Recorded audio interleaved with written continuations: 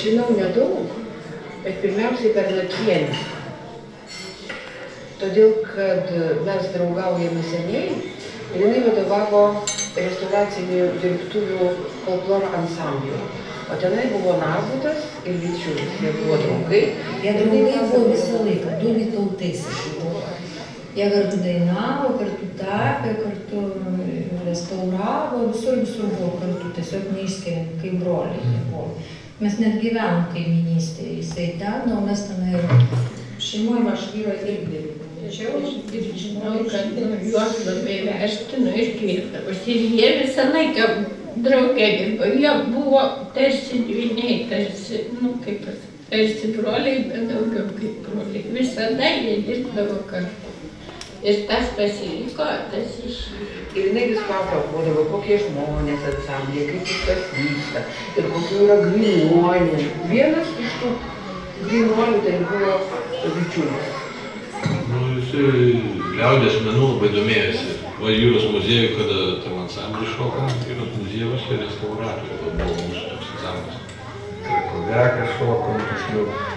Jonkelis labai sudėtinga šokas, kad tokį tempą išlaikydavom. O ypač, kada kažkur tai mieste, tai iš viso, nu, tai negali patinginiauti. Tai, va, kada tai droždavom muzikantai. Jo močiutė turėjo tautinius rūbus, o aš norėjau pradėti kolektyvą lankyti ir tautinių rūbų neturėjau, tais laikais labai buvo sudėtinga. Nu ir jisai, vat, man grinai iš skrynius močiutės ištraukė autentiškus rūbus, man įteikė. Ir sako, su sąlyga, kad leisit tave nutapyti su tais rūbais. Ja, buvo tokių ir tokių gerų momentų. Mūsų labai buvo iš, iš viso mūsų labai daug tokių fanų. Kompanija, visi tokie, kaip, visi kaip vienas. Kaip baisiai kutelimo bijojo. Jis kažką man pasakė, nu palauk, sako, dabar tu kentėsi. Ir aš jį pradėjau patrintis sieną, kaip buvo šviežiai nutinkuota, jau pradžiūvusi, kad išgerės. Man prie tos sienos prispaudė, aš taip ranką patraukusi, pažiūrėk, ką daryti. Aš atsiprašau, atsiprašau, kai jisai, kai savaitę laiko jis manęs atsiprašė. Tokių aš nežinau. Ir man atrodo, kad šito, nu, to tokio, matot, visi tame tarpe visi žmėtų žmonės, kurie prie meno yra kitokie yra. Ir, ir tie, kaip pasakyti, eilinis žmogelis ir juos laiko. Keistuoliai. Jis buvo tokie vaikai. Berėtė nešiodavo užsidėjęs mieste ir tokia sėtkikė. Ir paskui mieste žiūriu, eina bičiulis, su ta berėtė jisai, pavyzdžiui, tavo darbą, jisai, aš užėjau, jisai dirbo prie tos draugės, man labai patiko darbas, aš jam susižadėjau. Šitą nuotrauką.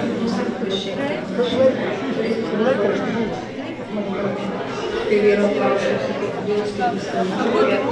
Nu, atsakė, susižadėjai, kad gražu, jisai kyla, ir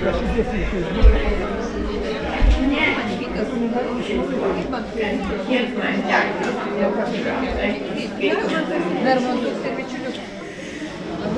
Nu, galbūt žmogui, kaip pasakyti, buvo dvasinė perkrova. Sakau, aš Ai, jo. Taip, visi tikriausiai pasirodė. Bičiulė dukra.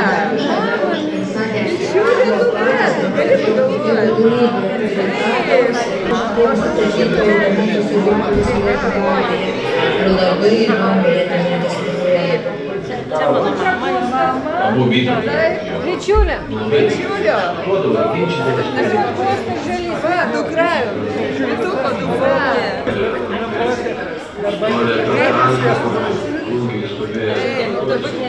Це жмонавічка. Жмонавічка. О, Жюля. Жюля, жмонавічка. Iš kažkur tada žmonės. Aš seniūną Kažką. Seniūnas, aš Gyvena tada didžiai vandens vilkė. Ilginis buvo vadovas, aš buvau seniau. Taip. Seniūnas.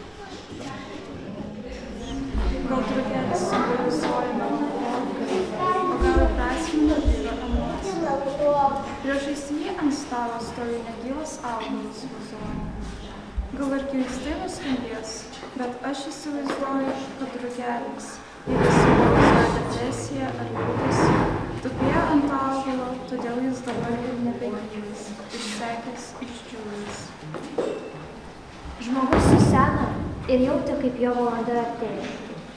Ir štai atėjo rytas. Tokio šviesaus dar niekas nebuvo matęs. Ant medelio kabėjo kokonas ir iš jo bandė išsivaduoti drugelis. Senukas priejo prie vazonėlio ir stebėjo, kaip iš balto laušio savo sparnus bando išskleisti drugelis. Štai suplevesavo ryškus mėlyni sparnai ir nutupė ant senelio kepuraitės. Tai buvo ženklas. Atėjo valanda, kai visų mylimas žmogus turi palikti pasaulį. Tad medelis kartu su miesteliu brangiu žmogumi atidavė savo sielas.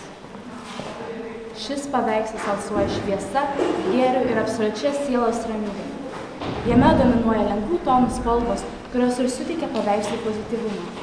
Man jis primena žmogaus išėjimą iš gyvenimo, tačiau gražiaja prasme. Paveikslo žmogaus lūpos sučiauptos, nes jis šiame pasaulyje pasakė viską, ką norėjo ir rame sąžinė jas amžiams sukrūvo. Gudus miškas, maža kaiminystė. Visi vieni kitus pažįsta, tačiau kas vakarą pasikartoja ta pati melodija, kurią gyventojai išgirsta sklindant iš lauko. Nei vienas nežino, kieno čia darbas. Gal tai laumė, o gal tai ta moteris iš gretimo namo, kur visada tūno namuose ir niekas nėra jas matę, nei girdėję, jei nesklindančios legendos. Prieš pavasario gėlių šventę jaunos merginos, padedamos jaunų bernelių, ankstų rytą keliavo rinkti gėlių. Darbingas procesas buvo pilnas juoko ir įvairiausių žaidimų, bei skambių liaudos darbo dainų.